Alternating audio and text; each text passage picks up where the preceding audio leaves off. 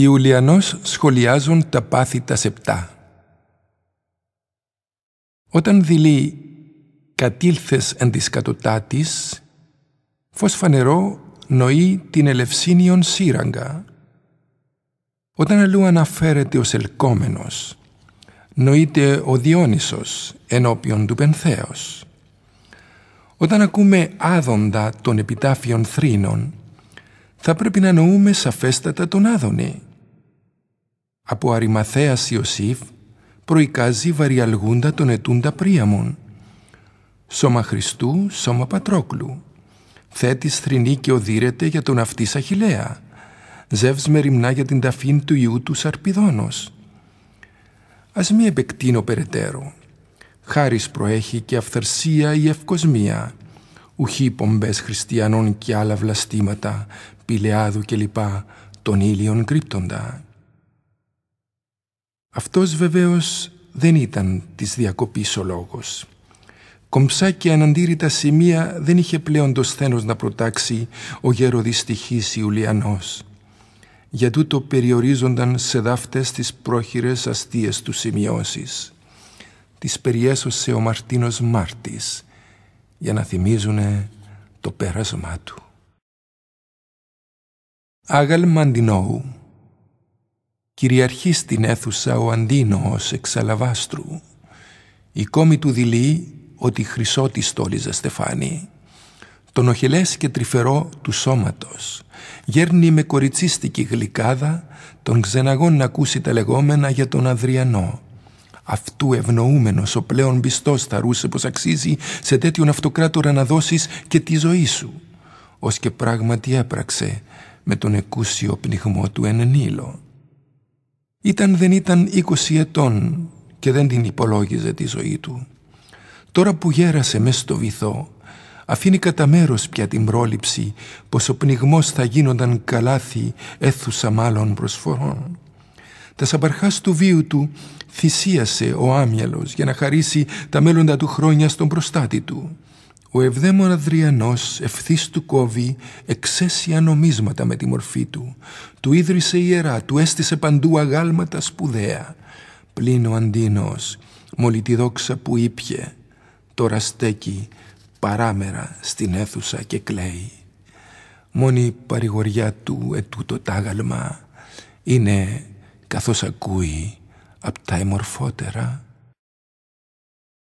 Παλινοδία ουκες έτοιμος λόγος ούτος, ουδέβας εν νυυσίν ευσέλμης, ουδίκαιο πέργαμα τρίας, στη Σύχωρος. Την είπε την κουβέντα του επιρρεπής στου λόγου την όρυξία.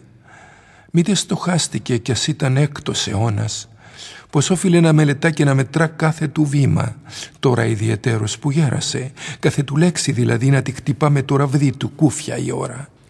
Κι είπε για την Ελένη μας τη θυγατέρα της Λίδας του Τινδάρεο και τι λέω, είπε για την Ελένη μας πως έφτασε στην αντριωμένη τρία κι ήταν ο έπαφος που ζωντανά της έστρωσε κορμιά στο πέρασμά της κρίνα και τραγούδια λουσμένα στο αίμα. Κι είπε για την κόρη τη θαυμαστή και λιγομίλητη, καμάρι της αρετής, κάφκος αρούρης, λάμψης, πως μπήκε στα γοργόφτερα καράβια και τα ποδάρια της τα τιμημένα όλα ένα βλέφαρο, τα κάστρα μης ανοίξαν της τρίας και μπήκαν. Είπε αυτά εκείνος. Κι αν θες από Θεού ένα κτύπημα, μια κίνηση των άστρων του έφραξε με μια στο στόμα και το ματιόν του γέμισε σακούλα τεφρό σκοτάδι κι είδες στο βυθό του τη θεία Ελένη, ξαγριεμένη και αργυρή, να του ζητά το δίκιο της μαντρόψυχο γυναίκα πείσμα.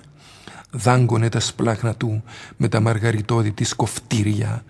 Κι αυτός παραπατώντας γέρος είπαμε τη φλάρπαζε στην τύχη τα κροστήθη της τρομερής και ράγιζε ο καθρέφτης. «Εσύ» του λέει «Εσύ με κακολόγησες και που με πήρε η ποίηση σου μέριξες Ποιο είπε πως εγώ η Ελένη τάρματα της εμορφιάς εζώστηκα και χύθηκα σε τορνεφτά γοργόφτερα καράβια. Τον άντρα μου ποιος είπε πως απάτησα δεινοπολέμαρχο μπρος στο δειλό Αλεξάνδερ. Ποιος είπε ποιον αγάπησα περί του και έσω τον έβαλα μες στο μυχό του κόλπου. Να ανακαλέσεις αυθορής της σύγχωρε. Η δέκα νου το φως των αματιών σου που είμαι εγώ το χάνεις διαπαντός.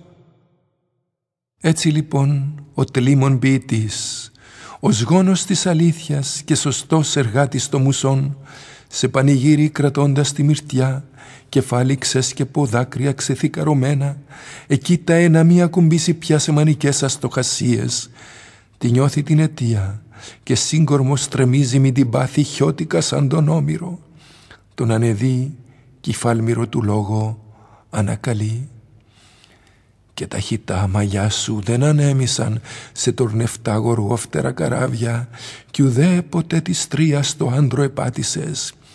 Τον ήλιο μου δεμένο απ' την ουρά τα λόγου που τα πίστομα τον σέρνει σπλαχνί σου τώρα εσύ.